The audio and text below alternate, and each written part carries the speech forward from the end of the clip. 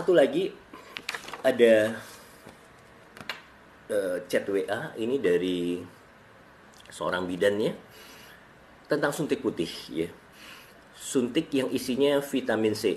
Malam dok, ada teman saya tanya, teman saya itu suntik Fit C selama setahun.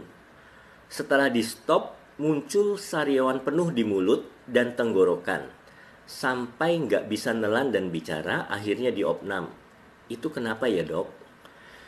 Nah, ini saya jawab ya. Saya jawab saya belum bisa memastikan apakah timbul sariawannya karena stop suntik vitamin C. Kalau sariawan hebat, kemungkinan orang itu terkena herpes simplex e, mulut ya, oral ya. Oh gitu ya dok, daya tahan tubuhnya lemah juga bisa ya?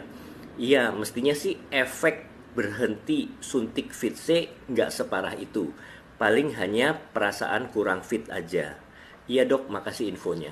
Nah, jadi begini, vitamin C itu sebetulnya aman, tapi harus digunakan secara benar.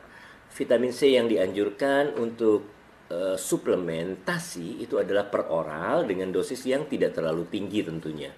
Nah, injeksi vitamin C secara intravena itu tidak dianjurkan. Nah, secara intravena itu hanya diberikan pada kondisi eh, keadaan avitaminosis vitamin C yang berat. Jadi pada pasien yang mengalami defisiensi vitamin berat, kondisi tubuh lemah, nggak bisa makan, ya gangguan pencernaan, nah itu baru kita masukkan secara infus atau intravena, begitu ya.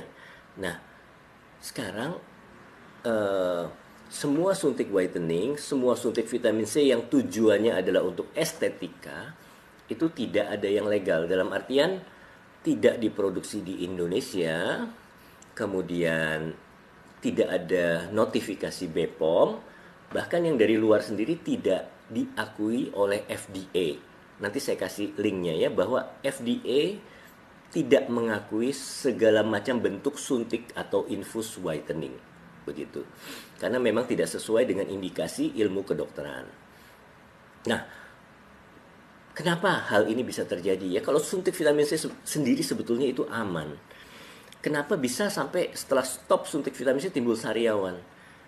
Nah, itu kan untuk mencerahkan kulit, membuat tekstur kulit jadi bagus, bahkan untuk menghilangkan jerawat. Saya khawatir itu obat suntik yang ilegal ya. Ada obatnya sehingga terjadi efek rebound. Obatnya apa? Saya nggak tahu ya. Kemungkinan bisa saja kortikosteroid ya. Tapi belum tentu ya. Mungkin bisa ada zat lain juga. Nah kan kortikosteroid ini memang menghambat proses peradangan. Kamu punya muka beruntusan jerawatan disuntik itu pasti bersih halus. Putih nggak? Putih ya. Tapi ya itu bahayanya. Begitu stop efek rebound. Nah ini manifestasinya dengan timbul sariawan yang banyak. Mungkin itu analisa saya oleh sebab itu janganlah pernah gunakan produk-produk yang nggak jelas, yang tidak legal. Begitu.